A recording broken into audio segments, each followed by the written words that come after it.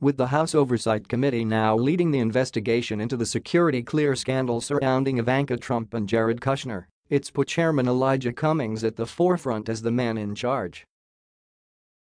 Needless to say, the Trump regime realizes this and as a result appears to be doing everything within its power to stonewall him.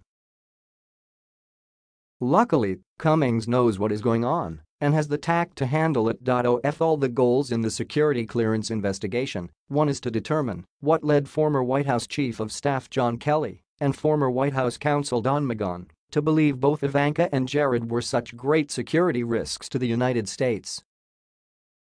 Fortunately, Cummings is aware that Kelly and McGahn both wrote memos documenting their own independent concerns and is actively seeking to obtain them despite White House reluctance to do so.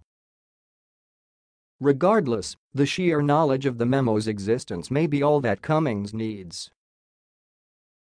And if not, maybe he'll luck out and either Kelly or McGahn will have retained copies of their own. Even if they didn't, it's widely reported that both have been cooperating with special counsel Robert Mueller in his investigation into the Trump-Russia scandal, so it's reasonable to assume they'd extend the same courtesy to Congress.